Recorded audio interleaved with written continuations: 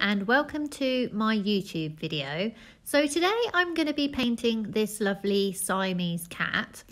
But before I show you the time-lapse video, I just wanted to have a few words about this painting. This is an example of a, um, a backlit object. So the sun is behind the cat. It's warm light, so remember the rule, warm light equals cool shadows. The, the cat should be predominantly in the shadows. However, I've changed this a little bit as I want your point of focus to be on the face of the cat. So remembering the rule that warm comes forward and cool recedes, I've loaded that brown with cadmium red and cooled down the background around the cat's face. But I have kept the body in the shadows so then, because that is in, in a cool area, I've gone and loaded the greens around the body with Indian yellow, cadmium yellow and cadmium red. But remember, with all that warm in that grass, you still need to run some cool areas through it. Not loads, but just some, just enough to break up all that warmth because if you don't, it will look muddy. So remember to do that. It's also worth remembering as well that if you feel that you are oversaturating your colours, if you mix the opposite colour with it, it will help to neutralise them. So, for example, if you add like red to green, red will neutralise green. But in some of the yellow areas, I've used cadmium yellow straight out of the tube, which is not something that I usually do. But in order to get the warmth that I was after, I had to really load up that yellow. So I think now we'll we'll look at the time lapse video. Um, so this one it's actually done on a canvas board. I had a little bit of trouble um, trying to get this in the right position, so I ended up having to balance it on a little ledge. So you'll just have to bear with me for this one. Hopefully you can see it well enough. My process for painting on canvas is very similar to on paper. You'll notice that a lot of, my other paintings are on paper. So what I do is I like to give these boards a couple of extra coats of primer because I like the surface really quite smooth and I want to make sure that there's no absorbency issues because sometimes with canvas you can you can get a bit of absorbency. So I always give them a bit of extra priming. And I start in exactly the same way of underpainting my canvas with raw sienna and terps. So I've got that lovely warm um, sort of colour to start me off. I generally try and paint in four sittings. However, I have to say with canvas paintings, sometimes it can be more. Generally on what I would call my layer three, where most of my work is done. Um, this one may be separated out because um, really it depends upon the painting. Also, as well, you don't have the issue of on paper stuff dries very, very quickly, so it's much easier to get it down and get it done quickly. But on on canvas, things dry much slower, so I find it's a good idea to stop when you feel you're starting to lose your concentration because um, it can get quite sloppy and slidey on a canvas and you'll lose your painting very quickly. So, you know, if if you're going to split anything up, I would split up layer 3 if you feel that you can't do it all in one go. I should also mention as well that if you do a section which you feel is obviously wrong, like you've put the wrong colour down or something like that, the best thing is don't try and paint over the top of it. Scrape it back and do it again. So going back to my process then, my first layer is very quick. It's, it's about 20 minutes. The purpose of this layer really is to block in my shapes and to really give me a bit of a foundation to paint on top of focus on your drawing on this layer. I mean, if it's wrong, it doesn't matter how well you try and paint it, the animal is just going to look wrong. So really focus on getting your drawing right and blocking it in on this first layer.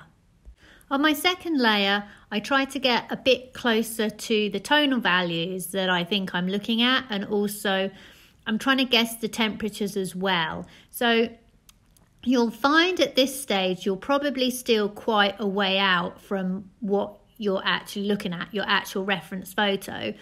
But what I'm trying to do is I'm trying to work up gradually to what I think is something that accurately represents what I'm actually looking at.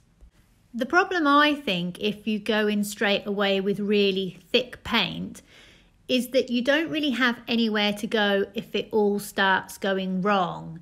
And um, you know, I mean, you can scrape it back, but ultimately, what you'll end up doing is you'll end up losing the freshness of the painting. So, I really think that working in a way of actually building up gradually to what you're looking at is a much more successful process than going in too much too hard and then trying to pull it back.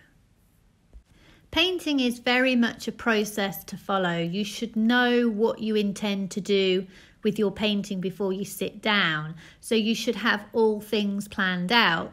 So, for example, where am I going to put my soft edges? Where is my focal point going to be? Where am I going to put my thick paint? Where am, am I going to put my thin paint?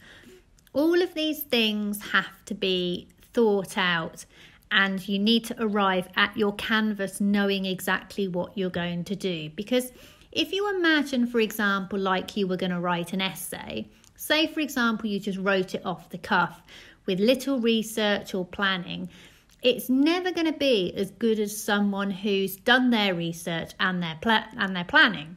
So you have to think of painting the same way. The best paintings that you, that you see are always the ones where the person knows what they're going to do to it before they've sat down to actually paint it. So I would say that knowing the process is really important, understanding the process is important, and then ultimately you can trust the process even when things start to go wrong, which they often do, trust me, they really do, you'll be able to figure your, your way around it and around the problems because you'll have the process that you're sticking to to do. So, as I said earlier, the third layer is where all the work is done. So, at this point, I want to draw your attention to sort of the halo of light around the cat. So remember, light is warm. So you need to gradually work up to your whitest areas, which is what I've done in this painting. White is cool. So if you just put that halo in white, you will not achieve the warmth that you're after in this painting. So you need to bridge across to the white with oranges, Indian yellows, cadmium yellows, and then finally white you must resist the, the temptation to go just straight from your colour to white. Adding that bridging colour is really, really important, but you need to add the bridging colour taking into consideration what you're bridging from. So, for example, if I'm bridging from red to white and I'm trying to create this warmth, I need to bridge orange, yellow orange, yellow, then white. If you just try and drag the white into your colour, such as the red, what will happen is you will be left with something that looks really chalky. You've got to bridge with chroma. So as I said earlier, the third layer may take up to two to three hours. Sometimes it can take even longer on canvas. You've just got to go with it. And, and if you can't do it all in one go, don't worry, just split it up. I often do this on canvas when I've lost my objectivity or my concentration's just gone. You know, it's it's much better just to put it down. I tend to use a, a little bit of linseed oil on this layer as well. Not a lot, just a tiny, tiny amount just to make my paint a little bit pliable where needed. So your last layer then really is just your tweaking layer.